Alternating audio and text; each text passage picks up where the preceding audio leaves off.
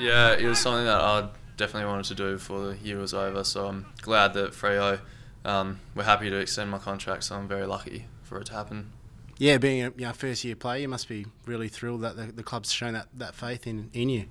Yeah, definitely. It shows that they're pretty happy with how I'm going. So, yeah, it's definitely something that um, I don't have to worry about now until 2016, obviously. So, um, yeah, I'm very relieved. And there's a real exciting uh, young group coming through, especially at Peel Thunder.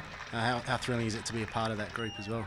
Yeah, definitely. Um, we're going really well at the moment, so hopefully we can play finals and play a big part in finals. So um, it's so exciting down there. There's a lot of fans coming down um, to Mandurah, so it's something that um, I'm really proud to be a part, and hopefully we can finish the year off well. Well, congratulations and uh, all the best for the future. Thank you.